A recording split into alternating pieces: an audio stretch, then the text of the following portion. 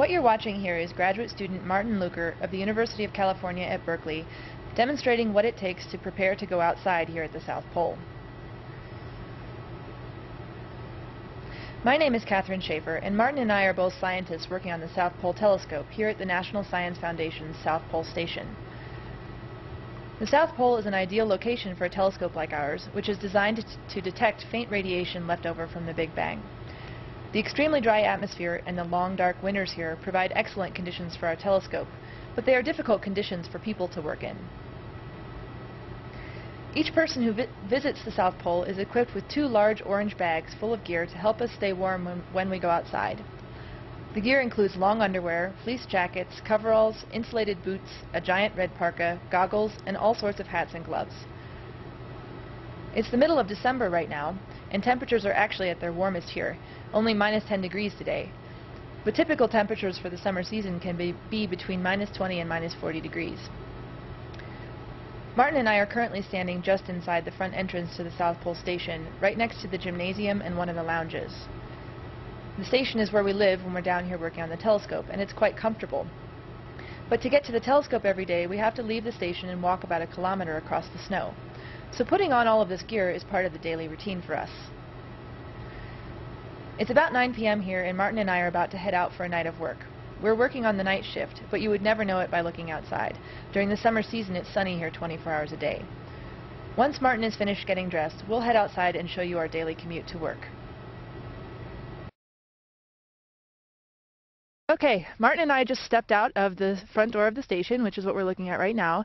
This is the new station. It's still being uh, built a little bit. A little bit of construction is still underway right now. And we're just going to pan the camera around and show you what our local environment looks like and where we're headed for work today. So as we move to the left, mostly you just see some snow. And then in the distance there, let me see if I can zoom in on this. There we go. In the distance you can see a whole bunch of flags. That's actually the location of the actual geographic South Pole, as well as the ceremonial South Pole, and all those flags are the flags of the signatories of the Antarctic Treaty. The ceremonial South Pole really does look like a barbershop pole. It does look like a barbershop pole. I hope you get to see some pictures. So as we pan to the left, we see some, there's some blocks of snow out there. Those are actually going to be used for ice sculptures as part of a annual tradition. We keep panning, mostly you just see a lot of snow, some flags. The distant horizon, more flags. And there we go. That's the telescope out there in the distance. That's, That's the Dark Sector Laboratory. It's actually several telescopes. It's a couple telescopes. Of course, there's only one that we're working on right now, which is the big one to the left. And this is the walk that we make every day to get out to the telescope. It takes about 15 minutes. takes us across the skiway, which is where all the planes normally land, so sometimes you get stuck waiting for the planes on the way out there. And on a cold day, by the end of this walk, you really feel it. Okay, we're gonna. Beard, you're covered in frost. Yeah, covered in frost. Okay, we're gonna head out there.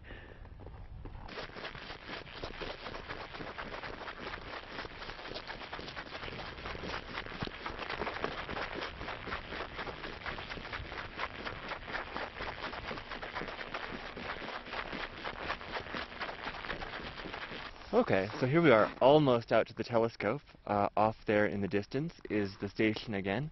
And from this vantage point, you can actually see the dome, which was the second station here at the South Pole, built in about 1970. Uh, currently, that station is being demolished. Uh, and as we pan around, let me zoom out, you can see some of the telescopes that have been out here over the last 10 or 15 years. Uh, right in front of you, that building that's almost buried is was the AST/RO Telescope. That's been out of commission for a couple of years now. And as we keep panning over, uh, you'll see two telescopes here at the Martin A. Pomerantz Observatory, known as MAPO. Uh, the telescope on the right uh, is the was originally the DASI telescope. Um, since then, it's housed other experiments called QUAD. And on the left, you'll see the telescope that I worked here the first time I came out about six years ago. Uh, that was the Viper telescope. The telescope is now gone, but you can still see the ground shield. Uh, that shield protects the telescope and protects the instrument from getting light from the ground, which would confuse our science. And if we pan around again, you'll see uh, ice for another thousand miles. And we keep panning around. And here we are. This is the Dark Sector Lab. This is where we're, we're working today. Um, here you see another two telescopes. The one on the roof on the right is the BICEP telescope. Uh, that one is still taking data. And there's the 10 meter, the South Pole telescope itself. And if you keep going, you see one more telescope. This is IceCube. The IceCube telescope is pretty special. It's not above the ground, it's underground. And instead of using a big reflector to catch light, the IceCube telescope uses the ice to catch subatomic particles called neutrinos.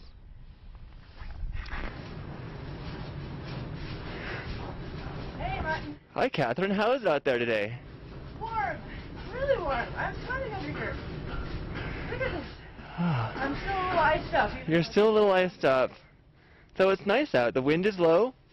We've had a beautiful walk to work. Not a cloud in the sky. Not a cloud in the sky. Check it out. All right. Okay. Let's get... Yeah, let's do it. Bye, everybody.